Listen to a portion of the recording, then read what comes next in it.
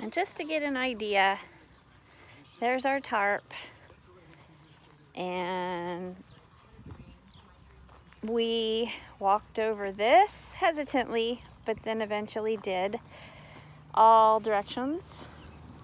Squeezed with the trailer, wasn't a problem. We went around this barrel. We went over this horse blanket, same thing. Lots of different colors and shadows. We walked over these. We even walked over this scary pipe with his feet kicking it. So we're uh, using lots of different things on the ground. And I know this is like ginormous, but uh, I'm just trying new things. Anyway, we'll make this a little smaller tomorrow.